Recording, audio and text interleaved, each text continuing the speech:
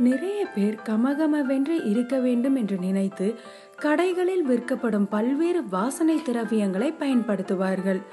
ஆனால் அப்படி வாங்கி பயன்படுத்தும் வாசனை திரவியங்களானது நீண்ட நேரம் நிலைத்திருப்பதில்லை. இதனால் பலர் டென்ஷன் ஆகி அளவாக பயன்படுத்த வேண்டிய வாசனை திரவியத்திலேயே குளிக்கின்றனர். ஆடை அணியும் முன்பே பெர்ஃப்யூம் பொதுவாக அனைவரும் குளித்து முடித்து ஆடை அணிந்து தலை சீவி விட்டு இறுதியில் கிளம்பும் போதுதான் பெர்ஃப்யூம் போட்டுக்கொள்வார்கள். ஆனால் உங்கள் பெர்ஃப்யூம் வாசனை நீண்ட நேரம் இருக்க வேண்டுமானால் ஆடை அணியும் முன்பே பெர்ஃப்யூம் அடியுங்கள். இப்படி ஈரமாக இருக்கும்போதே பெர்ஃப்யூம் அடித்தால்தான் வாசனையானது நீண்ட நேரம் நிலைத்திருக்கும்.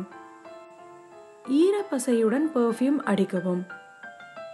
முதலில் பெர்ஃப்யூம் நீண்ட நேரம் இருக்க வேண்டுமானால் சரியான இடத்தில் அந்த வாசனை திரவியத்தை அடிக்க வேண்டும்.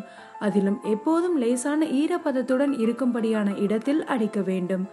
உதாரணமாக அக்கல் கழுத்து கை மடக்குகளில் போன்ற இடங்களில் அடித்தால் வாசனை நீண்ட நேரம் நிலைத்திருக்கும். எண்ணெய் பசை சருமத்தினருக்கு.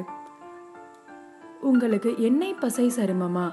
அப்படியானால் நீங்கள் சந்தோஷம் படலாம் ஏனெனில் எண்ணெய் பசை சருமம் உள்ளவர்கள் பெர்ஃப்யூம் அடித்தால் அவர்களின் உடலில் அந்த வாசனையானது நீண்ட நேரம் நிலைத்திருக்குமாம்.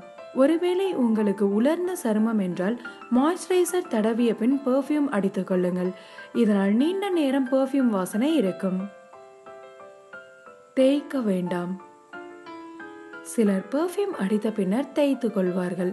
ஆனால் அப்படி தேய்த்து கொள்வதால் வாசனை திரவியத்தில் உள்ள மூலக்கூறுகளானது உடைந்து எளிதில் காற்றில் கரைந்துவிடும். ஆகவே வாசனை திரவியத்தை பயன்படுத்திய பின்னர் தேய்க்க வேண்டாம்.